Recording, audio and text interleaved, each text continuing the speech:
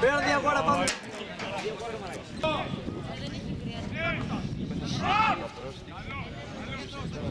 Apo, amo Гришна. Нато. Семью что-то кто-то что-то αυτό στο 28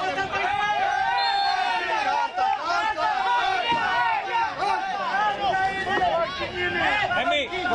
Έμι!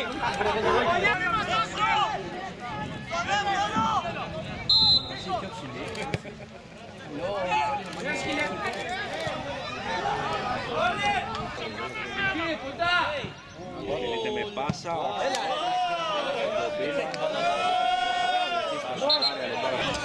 Τώρα συνέχεια στο μάτι με τον Χριστοδούλο να δίνεις στον Σεραφίγκο. Αυτό παίζει ο Έρεξ. Ψήφισε ξανά ο Σεραφίγκος κρατάει την μπάλα, προσπαθεί ξανά σε βρίζει από το πέναλτι.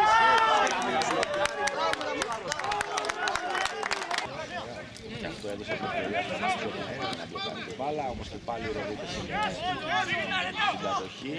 Ο Σιώτης αλλάζει με τον ε, Πόρτα. Σούκου Έλα, μπράβο! και από τα αριστερά Ροδός. Σκορπίδη, προσπαθεί ο Σιδήρης, δεν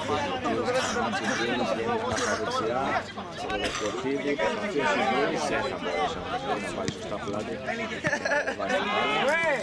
Το λάθος όμως της Ρόδου, αποδέχτηκε και πάλι ο Σιδρή. Ξέρω από Σεραφίκο, σου του Σεραφίκο. Ένα μία καλή Μέγυρο. Βρίσκει στήριγμα στο Σιδρή. Θα γυρίσει ο Σεραφίκος, θα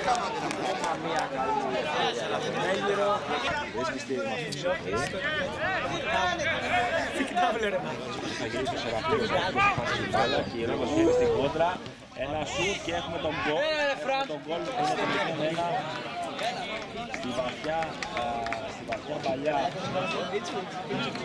που έγινε από τον Αξιώτη. Μπράβο Τσουρούτη! Βγήκε ο Σπετσιώτης, δεν μπόρεσε να προλάβει την μπάλα. Έχει τσιμπήσει. Έλα!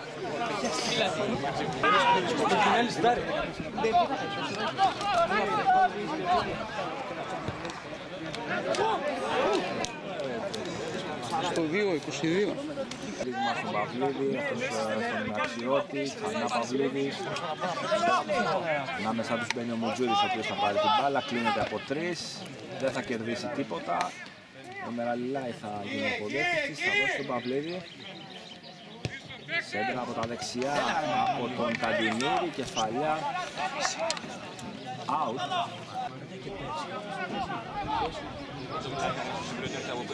Η Ρόδος και πάλι με τον Ευγενικό τώρα να παίζει πίσω στον Αξιώτη.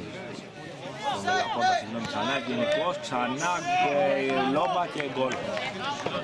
0-2, πανηγυρότυπο γκολ με το πρώτο.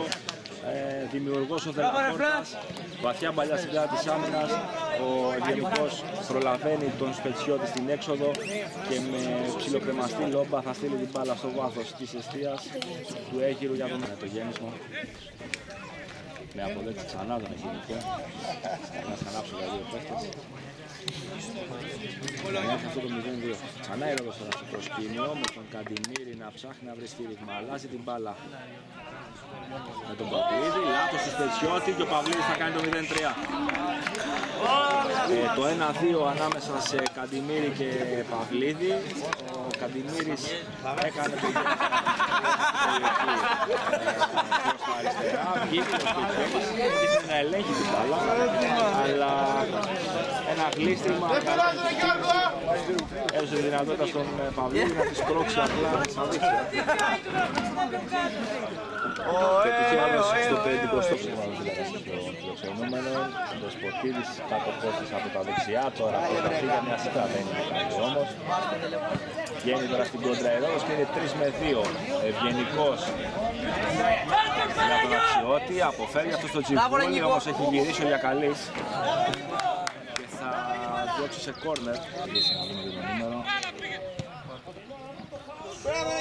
Όχι, είναι ο Κοντούλης, ο οποίος Κλασικά ο Αξιώτης θα πάρει την μπάλα. Θα τη φέρει στην καρδιά της περιοχής, εκεί πλασαριστά. Βελαπόρτα σε ένα γέμισμα.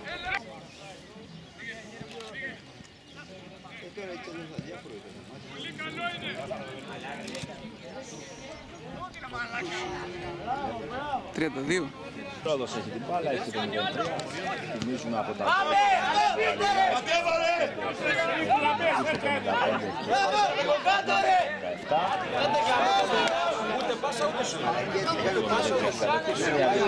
Αυτό στο Μουτζούρι. Ο Μουτζούρι στο Σεράφικο. Ο Σεράφικος έχει τον Αφροδίνη και τον Εμούλα δίπλα του. Θα βρει στήρμα στον Αφροδίνη. Τσιμπούλη στα παρέα. Προσπαθεί ο Έγκυρος με τον Καπταγιάννη να ξεκινήσει με επίθεση. Σεράφικος Ιβρής πιο δεξιά στον Λίλα. Ανοίγει ωραία αυτός δεξιά για τον Γιακαλή. Σέντρα του Γιακαλή στο δεύτερο δοκάρι. Ο Ράτζα με διπλή προσπάθεια. Στις καθυστερήσεις, πάντα στο 0-3. Αξιώτης προσπαθεί σου θα και χωρίς καθυστέρηση. Coach, ακόμα ένα μάτι στη διαδικασία των παράζ ε, πρωταθλητών για την άνοδο στη ΓΑΜΑ Εθνική. Ολοκληρώνεται για τον Έγκυρο με ήττα. Ε, διαδικαστικού χαρακτήρα βέβαια. Πόσο ικανοποιημένος μπορεί να έχει μείνει ένας προπονητής από ένα 0-3. Εντάξει, όταν χάσει 0-3 μέσα στην έδρα σου, δεν μπορεί να είσαι ικανοποιημένος και ευχαριστημένος. Τίποτα. Πιστεύω ότι στο πρώτο μήχρονο, όσον αφορά το αγωνιστικό κομμάτι, το παλέψαμε το παιχνίδι. Θα μπορούσαμε να έχουμε προηγηθεί. Στο 43 ήρθε το γκολ από λάθος δικό μας στο κέντρο του γηπέδου και αδράνεια στην άμυνα. Και εκεί ήρθε το πρώτο ημίχρονο και μόλις μπήκαμε ήρθε ξανά το δεύτερο γκολ, το τρίτο από λάθος πάλι και τελείωσε το παιχνίδι. Οπωσδήποτε πιστεύω ότι κατά πολύ σε όλη αυτή τη διαδικασία των παιχνιδιών φταίει η απειρία που έχουν πάρα πολλοί παίχτες και ότι δεν φανήκαμε με καλή φυσική κατάσταση, πράγμα το οποίο μπορεί να φταίω και εγώ, σε όλη τη διαδικασία των παιχνιδιών αυτών. Ε, δεν έχω να πω τίποτα άλλο. Βασικό μέλημα, πάντως το ξαναλέω, ήταν η απειρία γιατί εμείς παίζουμε με πέντε μικρούς και αντίπαλες ομάδες και η Σαντορίνη και η Χίος και η Ρόδος δεν είχαν, αν το είδατε ή πάρετε το φύλλο αγώνας, δεν είχαν κανένα μικρό μέσα σε σύνθεσή τους. Και οι αλλαγές πάλι ήταν έβγαινε ένας μεγάλος και έμπαινε ένας μεγάλος. Όταν κάνεις ένα προγραμματισμό με μικρούς παίκτες είναι δύσκολο, για, όχι για μόνο για τον Αίγερο. Και το λέω αυτό και για τον χρόνο και για κάθε χρόνο, γιατί κάθε χρόνο τα ίδια γίνονται θα είναι πάρα πολύ δύσκολο να χτυπήσει κάποια ομάδα να βγει η γάμα εθνική ε, όσον αφορά τα μπαράζ. Όταν σε όλο το πρωτάθλημα έχεις προγραμματισμό με πέντε μικρούς. Όχι ότι δεν είναι καλοί, πάρα πολύ καλοί παίκτες. Απλά δεν έχουν την εμπειρία. Και σήμερα φάνηκε.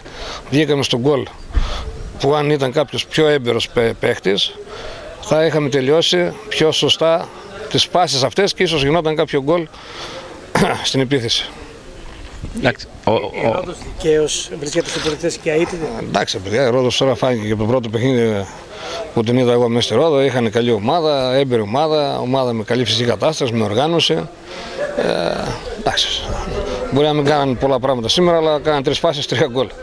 Και κατά τα άλλα, εντάξει, δεν νομίζω να έχει διαφορά από τη δικιά μας την ομάδα όσο στο πρώτο ημίχρονο. Αλλά είχαν την εμπειρία, είχαν την ποιότητα που το είπα και στα παιδιά εδώ πέρα πριν ξεκινήσει το παιχνίδι ότι εμείς παραμικρό λάθος να κάνουμε θα έχουμε πρόβλημα. Όπως και έγινε στο 43, διότι μέχρι το 43 δεν είχαμε πιεστεί και δεν είχαμε, κάνει, δεν είχαμε δεχτεί καμιά ευκαιρία και καμιά φάση για να φάμε κάποιο γκολ. Αλλά έτσι είναι. Όταν η ομάδα είναι έμπειρη με καλή παίχτε ποιοτική, μια φάση μπορεί να σε κάνουν γκολ και να σε τελειώσουν το παιχνίδι. Θα παίξει για το γόητρο στο τελευταίο μάτς φαντάζομαι ο Αίγυρος απέναντι στον Ποσειδώνα. Θέλετε μια νίκη, ένα θετικό αποτέλεσμα να κλείσετε έτσι με το χαμόγελο ας πούμε, τη διαδικασία αυτή; Εντάξει, πιστεύω ότι ο Ποσειδώνας είναι πιο βατή ομάδα. Έπρεπε να την κερδίσουμε και με στοιχείο. Ε, πιστεύω ότι θα ολοκληρώσουμε τις αγωνιστικές μας επιχρεώσει με καλή εμφάνιση και νίκη. Δεν έχω να προσθέσω τίποτα άλλο. Εντάξει, συγχαρητήρια στα παιδιά για όλη την πορεία που κάνανε. Ε, συνεχίζουμε, τι να κάνουμε, ένα παιχνίδι ακόμα να τελειώνει αυτή η διαδικασία.